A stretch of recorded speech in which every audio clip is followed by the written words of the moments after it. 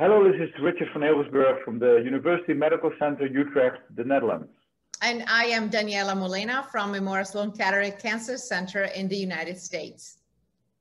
And we are the guest editors of a special supplement published in ISDE Diseases of the Esophagus Journal on robotic-assisted minimally invasive esophagectomy, a new standard of care.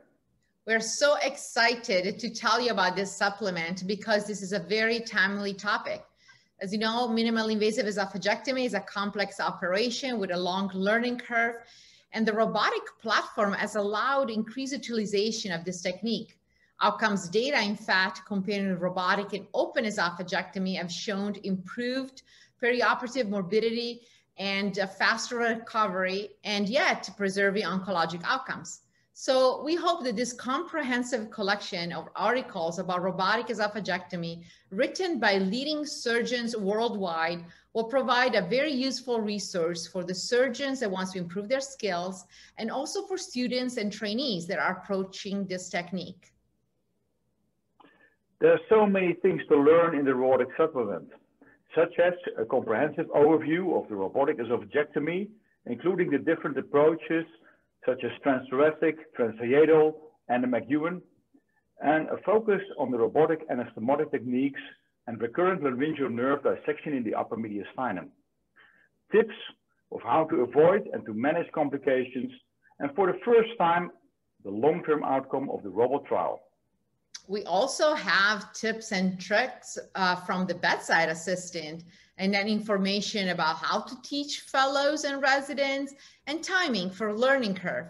And we have some innovative approach as in the transcervical esophagectomy. I would like to thank Daniela Molena for a great collaboration as a co-editor of this special supplement.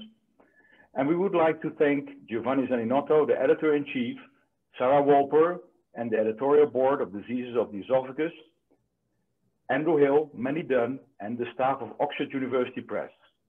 And also thanks to the International Society for Diseases of the Esophagus for their support. And I personally want to thank you, Richard, for being uh, such a supportive co-editor and for your amazing leadership and uh, uh, advancement that you have spearheaded in this field. Thanks goes also to the Intuitive Surgical for their sponsorship. Thank you, Daniela. Last but not least, a big thank to the authors who submitted their articles and for their effort of putting the information together.